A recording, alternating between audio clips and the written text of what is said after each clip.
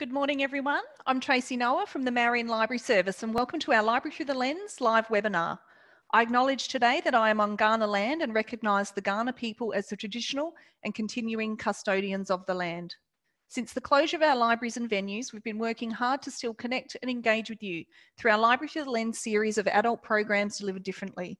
We had to reimagine how to bring you the author talks that you've grown to expect from us, so thank you for joining us today. This morning, we meet special guest Dr. Rob Morrison, scientist, author, and former co host of the beloved Curiosity Show, in conversation with the glorious Jo Case from Wakefield Press. Rob will take us behind the scenes and science in his memoir, Curious Recollections. Please feel free at any time during the presentation to type questions you have for Rob into the chat feed on your screen, and he will answer these at the end of his talk. Now sit back, grab a cuppa, and please welcome Rob.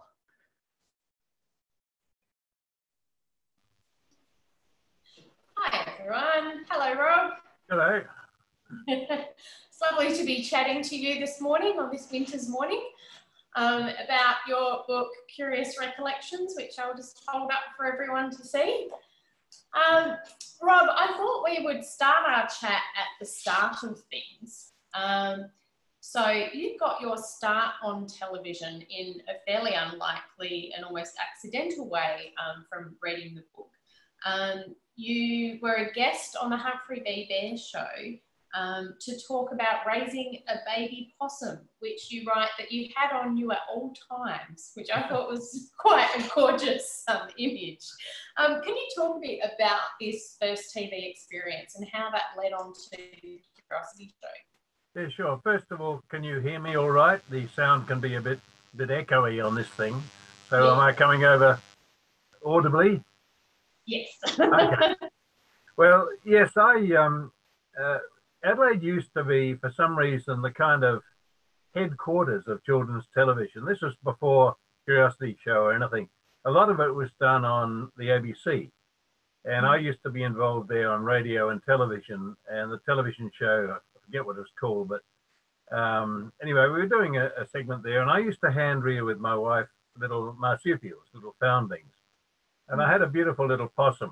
Uh, he was I, I, made a shoulder holster for him. It was a sock which ran over a ring of wire, if you can imagine that, and on a couple of strings. And you could put it over your shoulder under your jacket. And um, you needed to do this because they need a lot of a lot of feeds. And it would just sit there quietly until you know it was hungry. Then it would stir and you'd feel it, so you'd feed it. So it was with me all the time. It was known as Bagley because of this peculiar kind of holster it was in. But anyway, I uh, working with the ABC. It was a fairly leisurely business. You'd you'd uh, you'd come in and you'd talk through your segment and they'd set the lights and you'd have a cup of tea and then you'd talk through the segments again and um, have another cup of tea and rearrange things and discuss how it might happen, have a cup of tea and you know, talk it through a bit more, break for lunch, come back, have a rehearsal, not like it, do a take, not like it, do another one. You go home, you would have done a segment and feel you'd worked hard. But um, a friend of mine who was working on Channel 9, on, uh, she's Judy Lott, and uh, she was the producer for Here's Humphrey. And she knew about this little possum and said, Would I come on Here's Humphrey and, and show it to the children? I said, Sure. So I went into Channel 9. I knew all about this television business. So I went in and I sat on a stool, and the hostess, who is uh, Patsy Biscoe, came out and and sat down and asked me about the possum, which I produced and did my little first talk. Then she went off somewhere. So I, I sat there waiting to do the next talk and wondering if a cup of tea was going to come. She came up and said, uh, What are you doing here? And I said, well, I'm waiting to do the segment. She said, We've done it. Go. I've got to get on. So I slunk off feeling like an idiot. Um, but got a phone call uh, the next day from Ian Fairweather, who was producing this new program, saying, uh, "Did they? Did I know they were doing this new program?" And I had no idea. I said, "No." And he said, "Do you know we're looking for a presenter?" I said, "No." He said, "I couldn't help noticing how relaxed you were on camera." I at least had the wit not to tell him that I didn't know I was being filmed. I thought it was about two hours away from a take. So I shut up about that. They offered me the job and I took it. I wasn't so relaxed when I started, but I was in by then, so it was okay. So Bagley did me a good, uh, a good bit of uh, good deed. Oh, that, that's a fantastic story about an accidental start. And I love the idea that you were so relaxed because you thought you were rehearsing. Um, so I, I wonder, um, so Patsy Biscoe was the, uh, um, your first encounter, um, and Here's Humphrey was the beginning of uh, you going on to the Curiosity Show, but also the Curiosity Show started as a segment of Here's Humphrey, didn't it? Well, uh, yes. I mean, when the whole thing started because the Children's Program Committee, which is a, a federal body under the wonderful Dr. Patricia Edgar, came up with regulations that were enforced throughout commercial television that suddenly told them that they would from now on start making programs for school-going children because all they made was before that was preschoolers and it was up to them whether they made that or not but they would mm. have to start making programs for children of school-going age and show them in out-of-school hours and that was the magic c program you had to get a you had to qualify you had to you know get approved for your your show and so the channel had no idea what they were going to do about this. They, they hadn't thought about this at all, and it was being foisted on them. And for many years, this is not a nice story, but my rundowns for Curiosity Show, which are now in the State Library, they headed the F program because that's what the channel heavies said when they found they had to make this program. So the F program was born and they didn't know what to do. So all they did was to get Humphrey, who was designed for three year olds, to take on board this mad sort of scientist to do stuff for 10 year olds. So Curiosity Show had about four different starts, and one of them was a kind of offshoot of Humphrey Bear. Bear. It was called Humphrey B. Bear's Curiosity Show. It was terrible. You know, it was just awful. And Humphrey didn't want us there, and he kept trying to upstage us because, you know, he was worried about losing his audience and didn't want this person interfering with his program. It was ghastly. So eventually, Deane and I managed to spin it off as our own show but the beginning was anything but harmonious. you you actually tell a wonderful story that I feel you're leading up to quite nicely here about an encounter with Humphrey that starts the book. Um, the time that you got you got Humphrey to uh, speak, not only speak on television but swear on television. Oh, I wonder if you tell us that story. Yeah, not a nice story at all, but um, yes, it was in those early days when we had to deal with Humphrey, and as I said, he was always trying to. He'd get behind you when you when you couldn't see, and do a lot of because he couldn't talk. There's a lot of gesticulating and distracting, and sometimes interfering with your segment. But uh, we had an outside broadcast unit, which was pretty rare in those days because it was costly. But it must have been left over from something, and so we, we were offered it. We thought, what can we do with it? So I said, well, let's take it out to my laboratory in the university and I'll dress it up with machines and things and make it look good. Which I did. And one of them was a Van de Graaff generator. And these things, if, if you've met them, you see them in science museums. They, they generate about, you know, 500,000 volts and make your hair stand on end with static electricity. So this had been grinding away in the background for quite some time. It was a new one. It was a good one. And anyway, Humphrey, I was doing some segment. I can't remember what it was on and Humphrey was in the background doing a lot of pointing and gesticulating and trying to distract my audience. And he was getting closer and closer to this machine. And I thought, well, this will be fun because you don't want to point at a Van de Graaff generator too closely, which he did. And there was a crack like a rifle shot and, a, and an arc of blue fire, I'll swear, about a meter long, leapt from this machine into his outstretched finger he did a quick 360, and you just heard from the depths of this huge woolly suit, was the only word he's ever said on television, and deeply inappropriate, but I'm responsible for it and feel quite proud these days. oh, it, re- it, really is a fantastic story. It may not be nice, but it is fantastic. So thank you, Rob. and I have to say, here at Wakefield Press, as someone who grew up with the Curiosity Show, one of those people who kind of walked walks around after I hear the, the name with the, the little theme tune in my head. Um, I read that, that story and I was immediately hooked on your book. It's so funny. Um, um, the Humphrey suit was it was a it was a it was a very good design. It was actually designed by Rex Heading, who went on to be the general manager. But it was very well designed for three-year-olds, but it was a nightmare to wear. I've only been inside the head, and that was enough. It's a huge padded thing in three parts. And of course, the trouble was Humphrey used to have to do promotional things outside, and they were there's several suits, and um, they'd get different people to be presenting in a shopping centre while the other Humphrey was recording on air. But of course, in a heat wave, the, the actor inside would sweat like a pig. And this thing, you couldn't wash it. You couldn't dry clean it. So um, they used to just try and air it and, and, and blow dry it and put it out on the sun to dry. And they had this, it was three parts. It was the head, a sort of jacket, and the, the bottom part was like a pair of overalls, all big and furry. They used to spread this thing out in the sun on various things. One day, a party of school children was visiting Channel 9, and one of them looked out the window and saw this dismembered Humphrey all over the yard. Then he had hysterics, thought Humphrey had fallen off the roof and gone bang all over the place. Not a very educational visit. oh, yes, thank you again. Another terrific Humphrey story. um, yeah, there's lots of entertaining stories from inside the television studio. Um, and in fact, before I move on to wanting to ask you about something else in the book, um, there, there's another great stunt or kind of trick that you play uh, on someone on the, uh, the, the set of Curiosity show that results in uh, a bit of an explosion. Um, can you tell us about the uh, crew member who was always annoying you by smoking Oh, and yeah. how you revenge on him? Well, that was, I mean, it wouldn't happen now, but back in those days, remember we made the show between 1972 and 1990. So everyone smoked all over the place. And it would drive you mad in script writers' meetings. I mean, we didn't have a script, but you have a production meeting. Be somebody smoking in your face, and, and I've never smoked, and I get hay fever. So you, you know, you, and when you're going on air, you don't want a face full of smoke because it makes you talk like that, which is the last thing you need. Anyway, we had a floor manager, and he used to smoke incessantly on the set. And I would ask him not to, and he'd said it was his right to smoke and puff another faceful at you.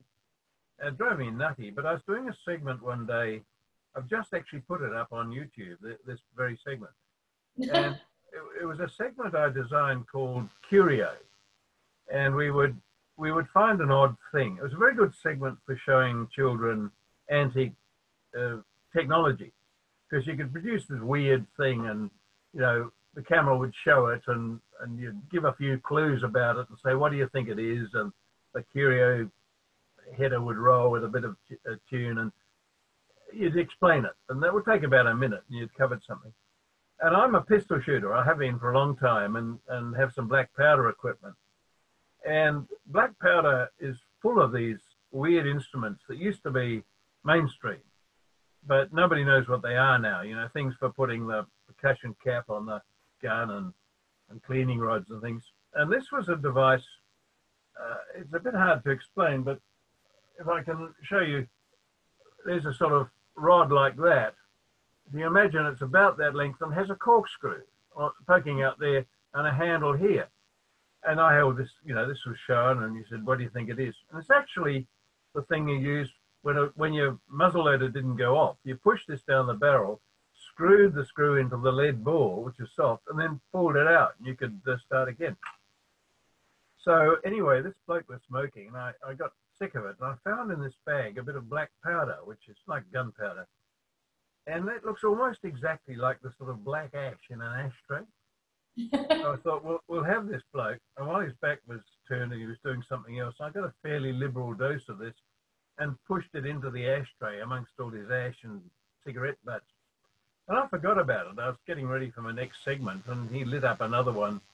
And when he came to stub this out in the ashtray, it was behind my back. First I knew of it was this sort of sounded like whoom. And I turned around and and there's a smoke ring like a tractor tire just ascending up into the into the roof of this studio. Of course, the whole thing had lit off and gone off like a mortar. And uh, I thought I was going to be for it because the stage manager used to have to log um, incidents, as they were called. I thought I'd be logged and called to account, but he must have realised I would have a pretty good defence about saying he wouldn't stop smoking. So I never heard any more about it. But he never smoked near me again. It was uh, it was effective. oh, thank you. Yes, uh, they, they sound even better when you tell them. So, um, I another thing that I found really fascinating about the book was um, something that I was really surprised to find in there, and that was your story about being called in as an expert witness, a dingo expert, um, in the infamous Lindy Chamberlain trial. And I wonder if you could tell us about your role in that trial and how it came about. Right. Yes, it was. Um, it was an interesting time for me. Terrible for the Chamberlains, but the there'll be some people watching perhaps who don't know about the Chamberlain trial, but it's probably one of the most, if not the most famous set of criminal trials in Australian uh, legal history. And it came about because the Chamberlains were a young couple and they had this little baby, uh, Azaria, and they'd gone for a holiday camping at Ayers Rock. And uh, the the case erupted because uh, Lindy, uh, out on the camping ground one day, went to check in, in her tent, just check on the baby, and uh, came out screaming, "A dingo's got my baby!" So um, there was this big case about the dingo, and then um, through various events, which changed, she was then accused of murdering this child, and her husband was accused of being a, a, an accessory. Anyway, there were several trials, and I got involved in the third one. Um, Lindy always insisted that the Azaria, when she was put down to bed, had a matinee jacket. And when they found the clothes of this unfortunate child all bloodied and, and chopped up, um, uh, some people said, well, you know, the dingo had done it, and others said, no, no, she did it. And these, you know, where's the matinee jacket?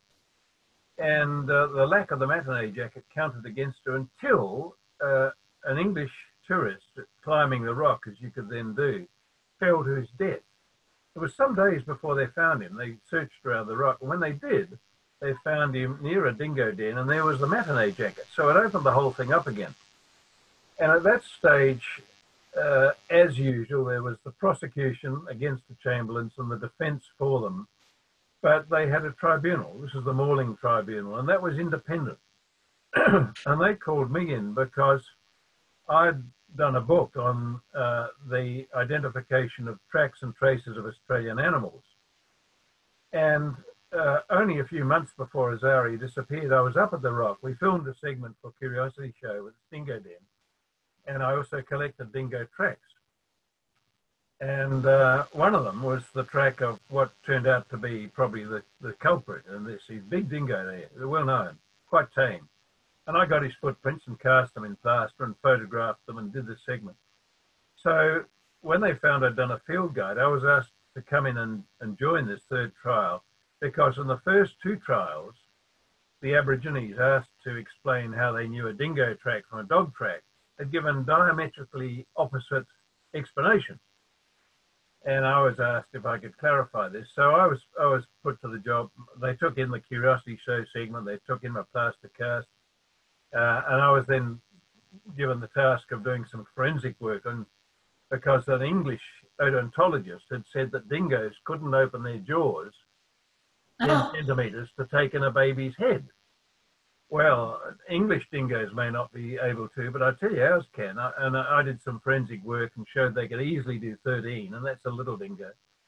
And uh, did some work on plaster casts of dingo tracks and dog tracks. And so it was a very interesting time for me. Um, but I ended up, after I'd given my, uh, my evidence, being taken back by the Chamberlains to have coffee while I waited for my plane. And there were four of us, the Chamberlains, me, and their red friend. And that was a very interesting afternoon. And um, as I left, I apologized to them because in, in this case, you know, you've got to sit in a courtroom and the parents are there and you're being asked to discuss how dingoes would have torn their child apart and disemboweled it and removed it. Oh, it's the most ghastly thing to talk about in front of parents. But yeah. you have to. Anyway, I apologized to Michael on the way out for talking about his child in this way. He's, he said, I think they must be the saddest words I've ever heard a parent say don't give it a second thought. we've heard it all so much that it now means nothing to us. Imagine having to Oh. say that about your baby. Awful. But um, anyway, eventually it all came came right, and and uh, Ling, they were declared innocent. Michael's dead now, but Lindy has maintained an enormous archive of this. She works with the the National Museum of Australia, where all my my material now is held, and she's she's catalogued all the letters she had, good, bad, and indifferent. She's uh, she's remarkable in her in her strength at coping with all this.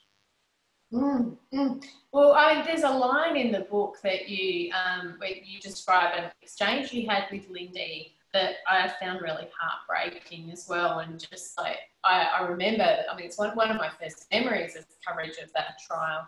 Um, and you said to her, um, noticing her friendly manner, you asked her why all her photos were so dour and Oh, yeah. smiling. Yeah. And do you remember what she said to you? Yes, well, well, I mean, in private, she was the most funny, attractive, vivacious woman. Very, very good company. And I said, look, you're very different from those dour, unsmiling, rather grim photographs that we saw in the press at the time. I said, why, why did you come over so sort of bleak? And she said, well, I was told if I smiled, they would think I was heartless. So I didn't smile and they thought I was heartless. Yeah. It's true. I mean, at that stage, everyone thought she'd done it. All the press thought she'd done it. Uh, she could do nothing that was going to change, change that picture until the evidence started to mount up. It was a terrible Yeah. case. Absolutely, yeah. Oh, well, um, that's just one of the many stories uh, from all around Australia that uh, you include in the book. And you include some great stories about travelling Australia and the world with the show. I wonder if you could share what, what are perhaps your most memorable experiences, um, either for good or bad reasons? It's I've thought about this. It, it's quite hard because you, you you know your, your mind goes back and, and there was 18 years of stuff, so you just get little pictures of things you did. I think yeah. I think for me, I mean, I'm, I, I like being a tourist, but you go to places like Coober Pedy as a tourist, Mm. and that's sort of all you are. Whereas if you're Mm. filming, you're in behind the scenes, and I Yeah. love I love that aspect of filming. You get in behind the scenes. You you're sort of part of what makes it, rather than just a spectator of what makes it. Um, I think staking a claim in, in Coober Pedy had its moments, but I think generally speaking for me, because I'm a zoologist and very interested in animals, some of the animal animal encounters were pretty good. I mean, I used to be able to get into the Adelaide Zoo. I did a lot of work there. So you get into the enclosures. I never like doing segments through wire or cages. It, it's horrible. You- You've got to be with the animal and touching it. You can't do that with lions and things, but you can with anteaters and orangutans and you know things like that. For me, that's always a joy. Having a crocodile hatch in your hands and holding a Oh. newly hatched kiwi and you know having a tuatara dangling off your finger, all that's pretty good. So Yeah. I think the constant buzz for me was the animal, close animal encounters. Um, but yes, there were some interesting incidents. I mean, the spoke. I decided I would do a segment when we went to Coober Pedy. Excuse me, just adjusting my my legs under my desk. Um, I'd do a segment on staking a claim. Now, it's a bit elaborate. You have to go to the Department of Mines and get your miner's permit, and they give you four little cards, and you have to put poles in on the corner of your claim and put these little cards on it to say who you are and all that. So we simplified it a little. But uh, the first part of the segment we filmed in Adelaide, I went in and got these little plates and explained them, off we went. Uh, next bit was in Coober Pedy, where we drove out onto the mi- onto the sort of miners' field. It's an amazing place. If you've never been there, from the air it looks like a sort of, you know, a bit of board attacked by by borers. It's just holes and little mounds. It's extraordinary sight. They have to be Everything's underground. But we drove out there to a to a little spot we found, and there were miners and you know mullock going everywhere and uh, very busy. So he set up the camera, and the miners were sort of interested. They're looking over there from their work. And the thing is about television, if you, when I can do it here with this camera, if you got a scene of me here, and if you want another scene, I can just sort of vanish off camera here, we move the camera a little bit like that, and I come in from here, it looks like a different scene. Although I only sort of moved the camera 15 degrees, and it's a lot easier to do that than move the entire production crew. Yeah. So I put in my my first take, and I put the put the little sign on. I exited it, and we moved the camera a few degrees, and I came in from the other side, put in another stake, and completed the whole thing. So when I finished my segment, we got up and left.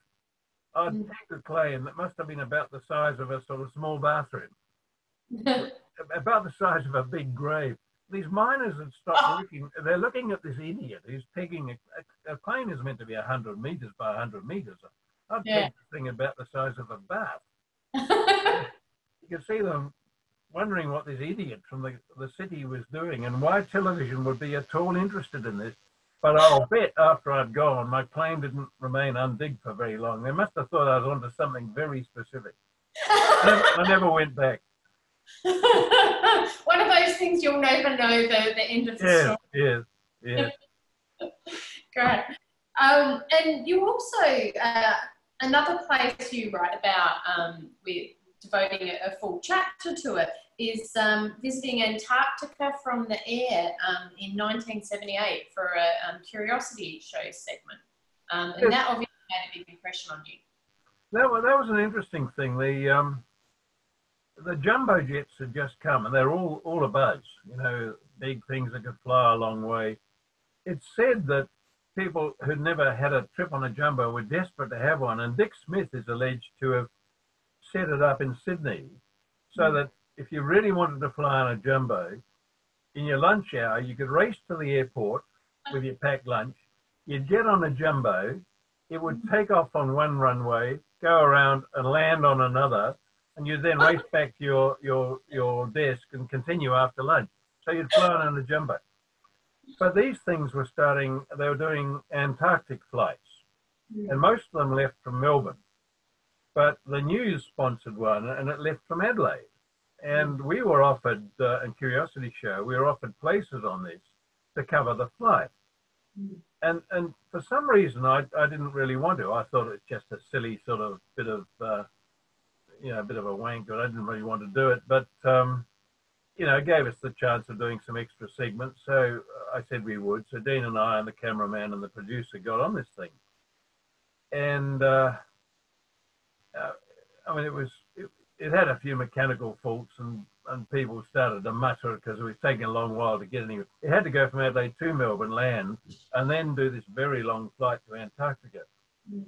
But they, uh, they sensed the audience was getting a little uh, restive. So, you know, those smooth voices they have, ladies and gentlemen, we're sorry about the, uh, the delay, but we'd like to uh, compensate you by making all drinks free on the flight. Wow. they know their audience. That was it. Um, so it's a long way down. And the, our pilot was very good. He's a Qantas bloke. And he said, look, if there are any clouds, you won't see anything. I'm not going low we'll hope for the best, but if they're clouds, we just have to come back. But fortunately, it opened up and we, we got some very good shots of Antarctica. Just magic. I'm so glad I'd come.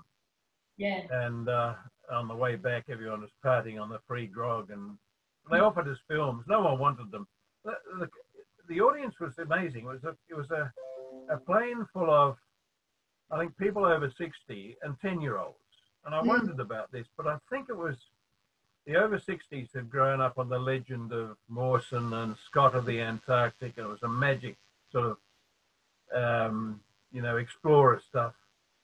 And uh, they wanted their grandchildren to experience this. I think it was that. And also, they wanted a flight on a jumbo, but not have to worry about foreign money and customs, and they could be back in their bed that night. So it was meant, I put a sign on my door at work gone to Antarctica, back tomorrow it, was, it was very interesting. But the next flight was the New Zealand one, and, and some somebody had programmed in coordinates, but not told the pilots. And they thought they were going down uh, over the sea, and they actually flew straight into Mount Erebus and killed everybody. Wow. So that was the last flight for a very long time. They're on again now. They go from Melbourne, and they're Mhm. well worth doing. And they're wonderful. But we had a very, very cautious pilot. He wasn't going to. He knew some dangers, and he wasn't going to get into them. No, sounds like you took the right flight. Yeah, we did. And Yeah. uh, Antarctica is tricky. Little little planes get into trouble because you can imagine. Here's the Antarctic shelf. It's very cold, and Mm. there's a cliff of ice, and the ocean is down there. And the, uh, the the air is so cold, it rolls across the Antarctic and drops like a stone because it's so cold and dense. If you're in a little plane flying along here, you just get blown straight down into the sea. So we were in a big plane, but it, it's got its hazards as, a, as an environment for flying. I made a model of this with dry ice, and it shows it pretty well. Oh wow, that that that sounds like a curiosity show segment. Well, we got a we got a lot of segments out of it, but uh, Yeah. fortunately didn't end up in Mount Erebus. yeah. Um, I, you've been, you, you talked before about being a zoologist and really enjoying the segments with the animals. Um, and you've been really heavily involved with um, South Australian zoos, as you say, um, both as a former president of Adelaide Zoo and um, filming curiosity show segments there. Um, and you write in the book that zoos now provide the only feasible solution to saving many animals from distinction, uh, from extinction. Um, can you talk a bit about that? Yes, um, there's a lot of misunderstanding about zoos. I, I, I, yes, as I say, I did a lot of work in the zoos, Mm. then ended up on the board for 10 years. And for six of those, I was the president of Zoos South Australia, is Adelaide Zoo and Monarto. So I was the president of both. And I distinguish zoos from menageries. Menageries were those ghastly old Victorian things where you just had concrete and cages, and the idea was to collect as many animals as you could. So they were in small cages in ranks, and the more animals you had, the better your zoo. That, that was ghastly. That's a menagerie, and they should all be finished with. Um, a zoo, I mean, I mean, in, in those days, you collected animals the way you collected them in a museum. It was like a living museum. And in those days, the things that controlled them were anatomy. You know, you, one animal you told from another because it had different horns or different antlers, so you needed one of those as well. and and taxonomy, which is classification. The more, the better. They're very old sciences. The three sciences that I think are the most important in a modern zoo are all modern. They are Mm. genetics, so that you, you know, for example, we had a tiger. We wanted to mate her. The tiger we could find in the world that was least genetically linked to her was in Berlin. We had another tiger. You get a tiger from anywhere, but we had to get the one with the most dissimilar genetics. So you have to pay a fortune to get this tiger, and then they didn't like each other. They weren't going to mate. So genetics controls making sure you don't get inbred animals. Try to keep the genetic diversity going. The second one is animal behavior. That's ethology, is a recent science. And so enclosures now are designed to maximize the animal's natural habitat. You make sure that you don't just plonk food in a dish. You hide it for bears so they have to fossect the way they do in life. we even do this for our chooks. You know, you scatter wheat so they scratch for it rather than just put it in a bowl.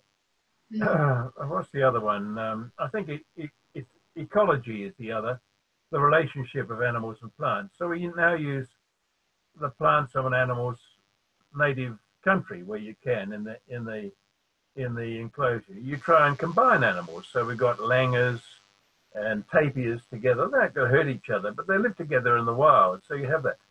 So now you're trying to create really hospitable, excellent kind of enclosures for the animals. And you can tell if it's working because they breed. I mean, Adelaide Zoo's record in breeding otters is extraordinary. Meerkats, they, they pop them out all the time. When it's working, that's good. But um, sadly, uh, I think for things like tigers, I don't think they're a good zoo animal, actually. Um, But if you don't have them in modern zoos, you're not going to have them because it used to be that if you said this animal could go extinct, you got heaps of money to try and save it. Now, unfortunately, because of Chinese medicine and other kind of ghastly exploitative uh, procedures, to say something is close to extinction means that you quadruple, quintuple its value on the black market. Oh. Rhinoceros horn now, because it's deemed to be an aphrodisiac, it's bloody nonsense. It's no more an aphrodisiac than a horse's hoof. It's modified hair, but it's worth more than gold, for, weight for weight. So anybody who can now poach a rhinoceros and hack the horn off is going to make a fortune. And if you yeah. say, for example, tigers are rare, well, in Chinese medicine, they use tiger bone. God knows why. It's meant to give you strength. Doesn't. But the poachers will now try to kill a tiger because they can retire on the proceeds. So zoos have now become, particularly for the rarest animals, the only refuge. It, it's, a, it's an appalling situation. The wildlife, illegal wildlife trade in, in animals is one of the big three armaments, drugs, and wildlife. And some people reckon that wildlife is bigger than the other two put together. It's, it's an absolutely appalling trade in, in uh, rare animals. It's conspicuous consumption. The rarer they are, the more valuable they are, and the more risks you can take to get them. Wow. Oh well, that's really that's a really interesting perspective um, on on modern zoos. So oh, yeah. also, I should add, we do a lot of research. I think when I was president, we were we had about 48 research programs in Australia and internationally, things like orangs, we would support that because you can really do research to find out what you need to protect the animals in their habitat. You know, how much range an animal needs. I mean, for example, the, the orangutans are a, a huge problem because people are felling their forests in Borneo to put in um, palms. Now, you can rear as they're doing, uh, we support this. They're rearing the little um, foundlings. A lot of them, a lot of people kill the mother to get the, the baby because they can sell the baby into the black market on the pet trade. So you get these foundlings which are reared. But then if you put them out in the wild, you've got a problem because a male orangutan is huge. They're solitary animals. And to feed him, he needs a big space. So if they're mm. females put into that space and it's a decreasing space, he will clean them out. You know, just take all their food. So you have to be very careful that you've got enough space to put them into. We have the same problem with possums. Trap a possum in your roof, let it go in the wild, it'll be beaten up by the possums already living there. So you need a lot of research on what these animals need just to make their sanctuaries work. It's not a matter of just putting them in the wild and hoping for the best. Yeah. So zoos are about um, about pre- preservation of the species, but also about research that enables preservation of species. Is that right? Oh yeah, uh, and I mean, for example, uh, there there's a black-flanked rock wallaby, very rare, very rare in in uh, Australia. so you want to try and have more of these. And our vet at the time, Dave Schultz, um, worked out. Uh, marsupials have a peculiar kind of, of reproduction.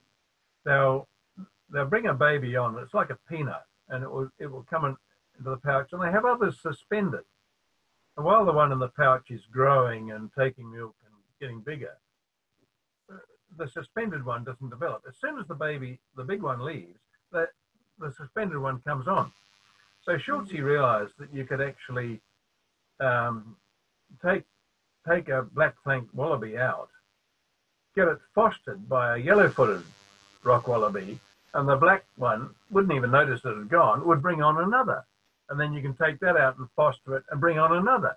So these are very happy animals. It's not like a human losing a baby that's developed all full term. So you have this production line, a very good bit of research, which has greatly increased the number of these very rare animals with no um, no uh, ill effects to any animal at all.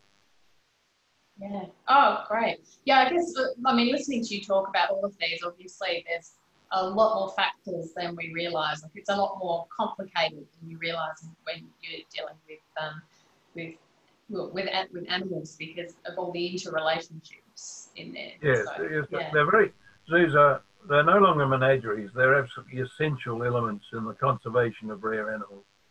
Yeah, great. Um, before I turn over to um, people's questions, which I can see there already are some, um, I, I, this chat is not complete without um, talking about Deane, I think. So Sorry, can just, you... just breaking up a bit there. Just say that again. Oh, uh, this chat is not complete without talking about Deane. Can we talk about how, how you and Deane came together on the Curiosity Show and your working relationship? yeah, sure. Um, Deane's uh, a good friend of mine. We still work together, of course, putting the show online and doing uh, public shows. He just had a bad accident, actually, and ended up in hospital, but he's home now, recuperating. But um, we sort of knew each other, because we were both lecturers in tertiary institutions. We had come across each other. Um, but he was in America when I was taken onto the show and then I got a Churchill Fellowship, and I left and spent a year in, in Europe, in, in Britain, in Edinburgh. And when uh, I came back, I was offered the position again, and, and then he came back, and, and so they had two of us instead of one. Ah. And so that's when our working relationship started. And he he he buzzed off to America for a spell a bit later when I was holding the fort. And this was in the days when Curiosity Show was an hour long and had several presenters. And I grew Ah. very unhappy with it because, I mean, you, you can't make a magazine program for adults that satisfies everybody. And people's interests are different.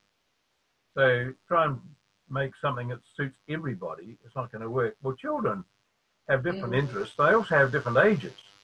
So a magazine program, all things to all people, is never going to work for children either. So I didn't like it and I was going to leave it. And Deane said, wait till I get back and, and we'll see what we can do. So I did.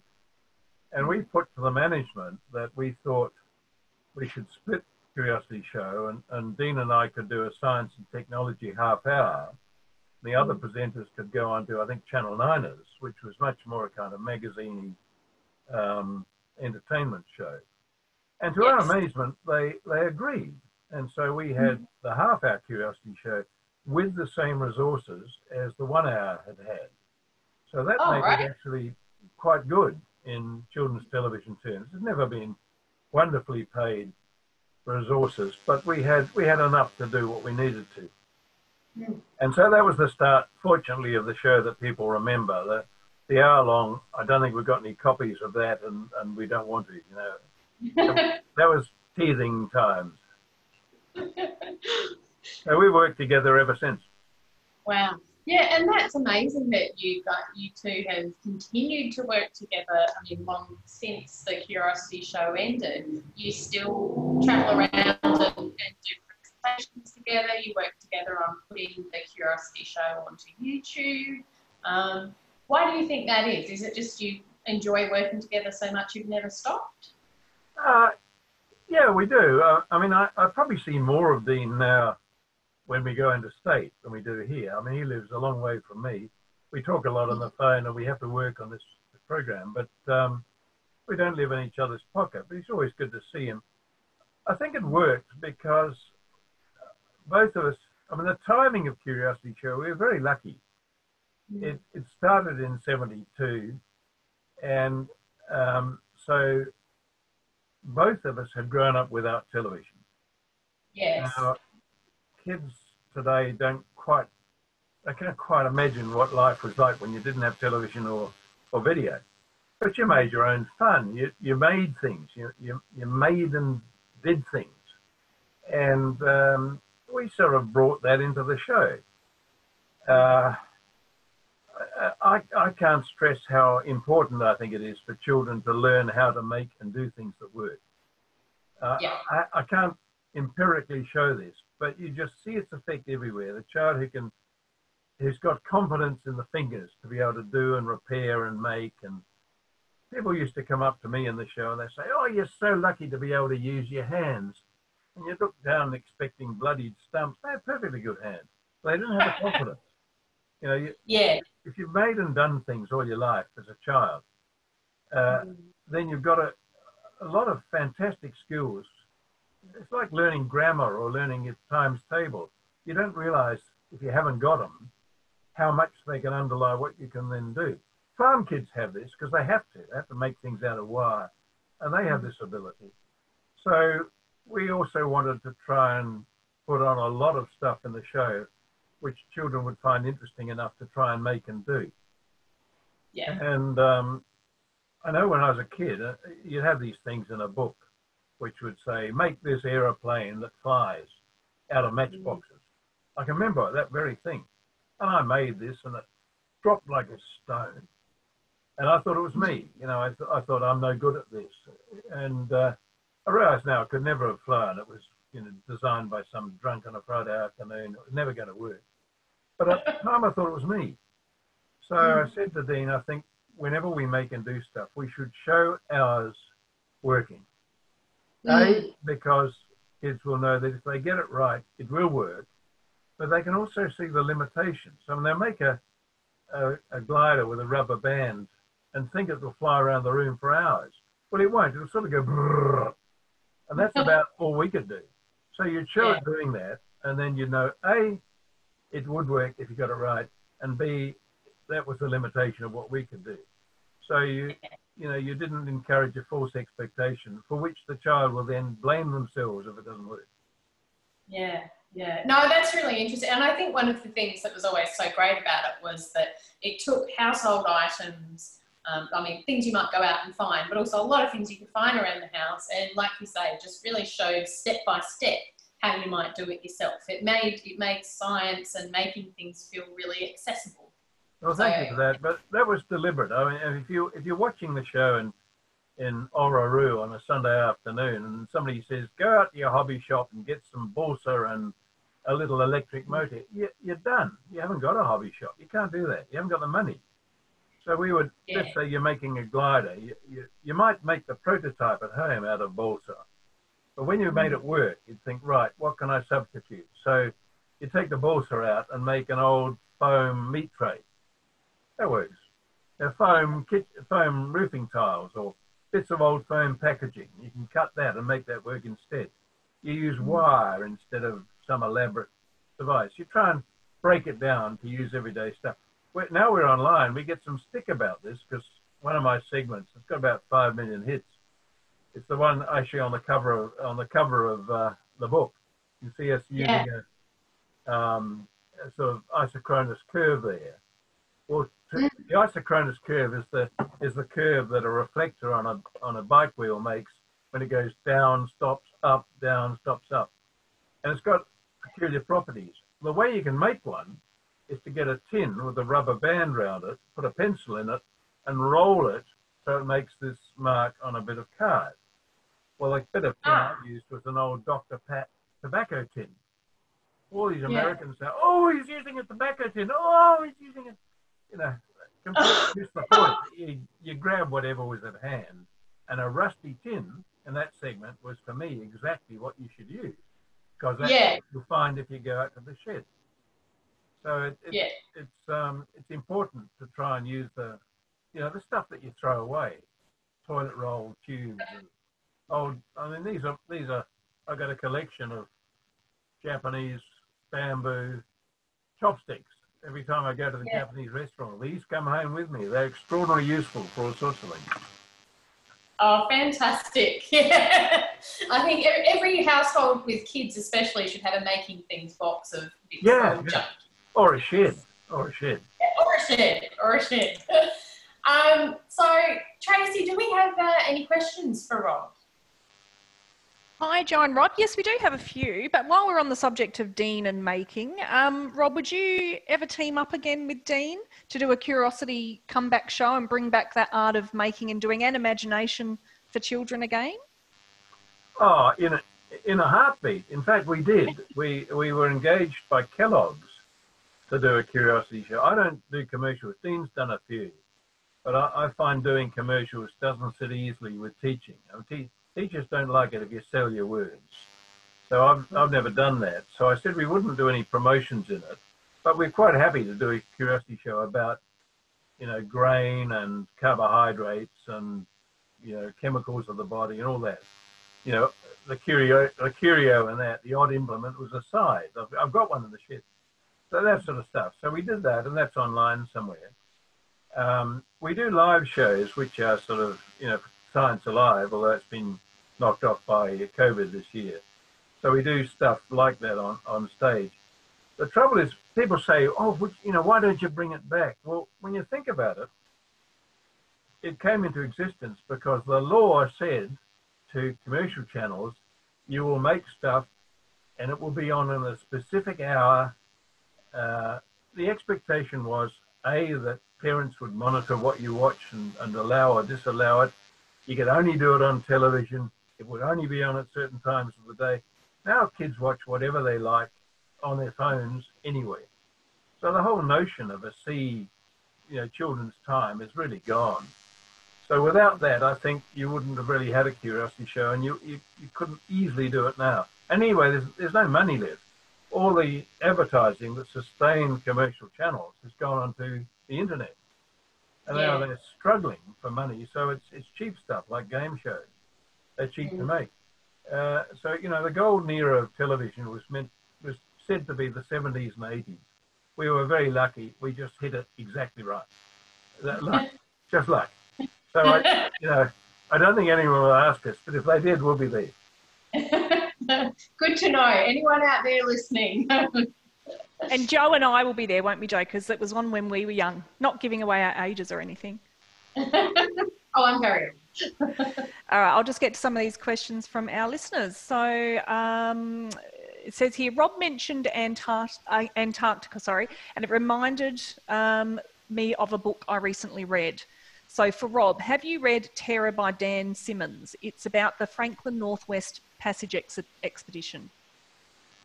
No, but I want to. That's a fascinating story. Poor old Franklin was a very unlucky bloke. Um, and and the the I don't know what this book covers, but the archaeology which has tried to trace this lost. Only two ships went up there and vanished. No one know, knew what had happened to them. They've they've now found one. They've actually dived and found one.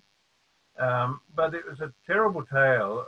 The traces they found, the crews had left these ships and they'd dragged a boat across the ice carrying things like writing desks, most peculiar. And it seems to be that what they, I hope I'm not spoiling the book for anyone, but it's a very interesting tale. Um, it was the, one of the first, if not the first expedition where they provisioned it with canned food. And the cans they used probably for cheapness, um, had lead soldering. And so these poor blokes on these ships were steadily getting lead poisoning, which has terrible effects. And so, you know, by the time that Franklin died, um, time they got off, they were nuts, and they resorted to cannibalism. It was just the most ghastly thing. But the archaeology of it these days is really interesting. I love to, I love read the book. well, there's a book recommendation for you, Rob. Mm, mm. And I'm sure you can get that one in the libraries. what's um, the name? What's the name again? Let's have a look. Sorry. Oh. Terror by Dan Simmons. Simons. Uh, terror as in fear, terror. Yes, that's correct. Yeah. Um, what else have we got here from our curious people? You've mentioned the zoo, but what have you been doing with yourself since the end of the film in the Curiosity Show? Oh, well, um, yeah, good question. Well, some people would remember the old Investigator Science and Technology Centre. Deane and I were ticket holders number one, but that folded some years ago. They, they just, it was too small a premise and they, they, they couldn't make it work. So three of us decided that we didn't want to see the end of interactive science in South Australia. So we bought the assets and formed SciWorld which a number of people might have come across. And SciWorld doesn't have a building, but we're mobile. We're mobile science education. And so for about 13 years now, we've been trotting around the countryside, taking interactive science like the old explainers and the investigator, taking out to schools, doing shows in Science Alive. So I was chair of that for uh, the inaugural chair for about 11 years, I think, and I'm now deputy chair. Um, the zoo came along, being president of that. That was post Curiosity Show. Quite a lot of science uh, uh, as a Nature Foundation for 24 years as a counsellor. And I got back into music a bit. I've always been a, a trumpet player and I play jazz. So I've got about three jazz bands I'm in. They're all suspended with COVID, of course, but we hope we'll get going again soon. Um, and jewelry, I, I do silver work and silver jewelry. So, you know, you keep yourself busy. You have things to do. Lucky enough say, to have a childhood where I learned to use them. I can say as Rob's publisher that he always seems very busy. Whenever we talk to him and say, what have you been up to? Or, you know, uh, when are you free? There's like a, a, a full diary of things. So. well, actually, one of the place we, my wife is an expert uh, um, textile artist. So we both exhibit in the Marion Gallery, Gallery M. That's a fabulous gallery there. One of the best galleries in, in South Australia. Beautiful lighting, very good, terrific people. So that's well worth a visit down there. Once, right, it, it is an amazing gallery. They got some yeah. gorgeous local art in there, and an excellent shop. Yeah, what what gifts? That's a beaut shop there. It certainly is. And um, World is an amazing company. We have actually had them visit the libraries as well. Yes, I think you had them on not long ago. Okay, so we have a question here. You've spoken about how children should learn to use their hands and develop those physical skills. What other skills would you recommend children nowadays learn? Oh, um, well, I, I think, I mean, one of the, when I left being president of the zoo, I think almost my favourite section was the children's zoo because you could see children coming in who, for no fault of their own, you know, they lived in flats, and so renting a flat, they weren't allowed to have pets, or they lived in a high rise, you couldn't have a pet, or you know, mum and dad worked, you couldn't have a pet. But you see these children coming in, and they're the tame llamas and little chickens, and you could see them touching living animal for the first time. The magic of that, holding a little day old chicken in their hands. You have to be careful because they didn't know how to hold it, but the magic of it for them you could see. So for me, children need to grow up with animals. Um, if if they don't, they tend to think of humans and animals as different things. Whereas they're on the same continuum. You need to know that you and animals are part of the same thing. They have the proper appreciation of them and liking for them and care for them that's essential. I mean, we're trying to get people interested in conservation of the natural world. You'll never conserve what you don't care about. Uh, if you can get a child caring about animals, then they'll they'll worry about how to look after animals. So for me, having intimate connection as a child with animal life is a really big one. Not always easy, but I think children's zoos and petting zoos and some of these do offer something of it. I think that's that's essential. I, I think I was never good as a math student, and I know how much I missed in life because of that. But we did always try in Curiosity Show to have some of these funny little number puzzles, which were engaging without needing to know much maths.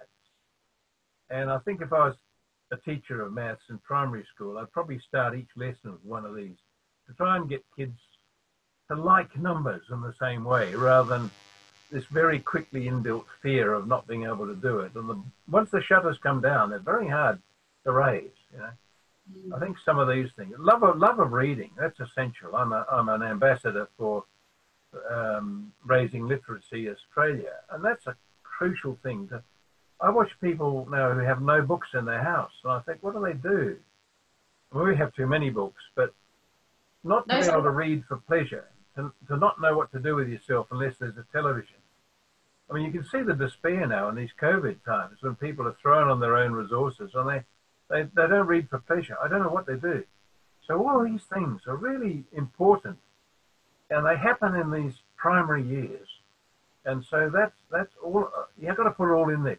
I think I had a really good science te- um, arts teacher at school, a fellow called Charles Bannon he was the father of our later premier, John Bannon, but he was an artist. But to me, his great strength was he's, a, he's an art teacher. And he got you to do everything. Uh, I mean, before I left primary school, I'd blacksmithed, I'd beaten copper, I'd made marionettes. Uh, they weren't good, but I left, and for the rest of my life, there was something up there that said, I'll go back to that one day because I can do it. Mm. If you haven't had that, and someone says, why don't you try making a silver ring? Something up there says, I can't do it because I never have. I haven't got the confidence to do it. You see it in maths a lot. And so I think the more you can give children, even if it's passing phases or crazes, um, the more they'll have up there, I can do that. Even if I don't do it, I could. That's, that's really important. I agree. Um, Peter says, Hi, Rob, and thank you. I love the Curiosity Show and used to run home from school to watch it every week when I was a young whippersnapper. There was a segment when Deane made a hovercraft using a small engine from Scalextric's cars. Is that segment still around? And if so, could it be posted on YouTube? I'm I'm pretty certain it is on YouTube. Um, I'll I'll uh, I don't know how to get the information to you, but I, will have a look. Um, I think if you probably if you typed in to Google Curiosity Show hovercraft, you should find it and it was a classic of, of, what we're talking about. It did have a little electric motor, true, but it was actually made out of a paper plate oh. that, because that actually makes the skirt. So if you get this thing blowing down, the paper plate acts the skirt, and the thing will scoot around very nicely. So I think I think a search of Curiosity Show hovercraft might find it.